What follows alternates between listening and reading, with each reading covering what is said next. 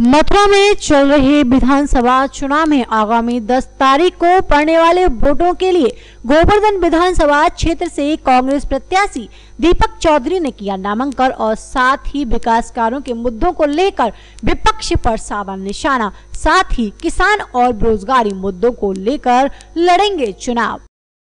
नामांकन किया क्या कहेंगे अपने चुनाव को लेकर? चुनाव के बारे में जैसे आप सब जानते हैं कि आपके सामने हम लोग चार एक तरीके से या जो मान्यता प्राप्त दल हैं, एक तरफ़ बसपा है, राष्ट्रीय लोकदल है, तीसरी पार्टी आपकी भाजपा है। तो इन तीनों पार्टियों का जो स्वरूप सबके सामने है, कितने एक तरीके से इन लोगों का स्वरूप ऐसा है कि बिल्कुल ही बेईमान दल हैं। राष्ट्रीय लोकदल की पूरे जनपद में आज क्या खाती है?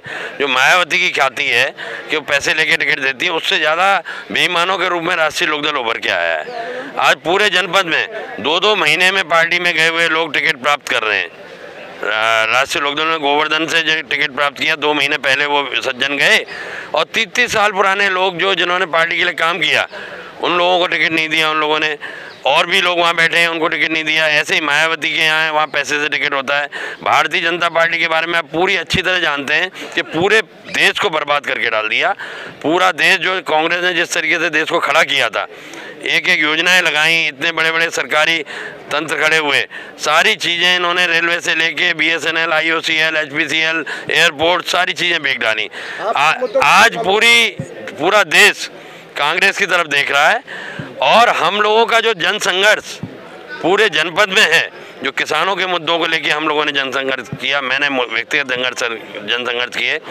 और पार्टियों, पार्टी ने जो संघर्ष किया, दीदी के जो आज प्रतिज्ञा हैं कि किसानों के कर्ज माफ़ होंगे, बिजली के बिल हाफ़ होंगे, बच्चियों को स्कूटी दी जाएँगी और बच्चियों के लिए आरक्षण होगा तो ये सारी प्रतिज्ञा भी हैं, हमारे जनसंघर्ष भी हैं, किसानों के लिए संघर्ष भी हैं, निश्चित रूप से वहाँ कांग्रेस जीतेगी।